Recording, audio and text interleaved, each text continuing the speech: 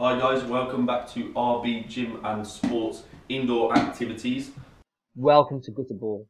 So to set up, you're going to need two players, player one and player two. You'll need two chairs, one ball and a marker in the middle as well. So they're going to set up how you can see on the screen. Each player behind a chair facing off at each, opposite each other and the ball is going to be with player one. So player one is going to throw the ball. Their aim is to hit the corner of the chair and for the ball to come back into their possession. If that's successful, then they qualify to score points. If they're not successful, if it doesn't hit and come back, or it hits and goes over the top of the chair, then the ball starts with player two, and player two then has, there you go, tries to rebound the ball back into their possession. It doesn't matter if the ball rolls back, comes back in the air, if it comes back into their possession, they qualify to score points. So if we qualify, we move into the center spot. This is where we can score our points.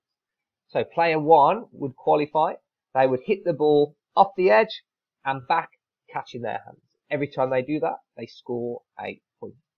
If the ball hits, bounces, and then they catch, then the ball starts with player two. No more points are added. If the ball hits the chair and player two catches the ball, then player one has got to get back onto their chair and sit down before player two tries to hit them with the ball.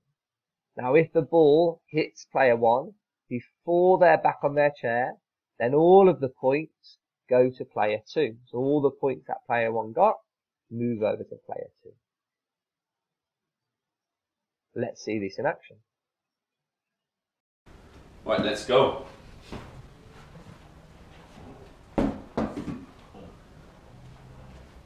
Count with me.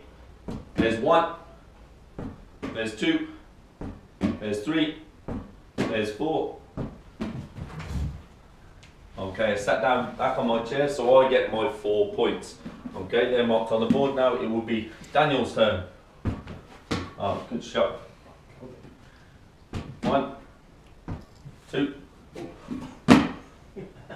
What a catch. three. okay. And I hit him with the ball, so Daniel's three points go wiped off the board. Okay? So that is how we are going to play our indoor gutter ball. Okay?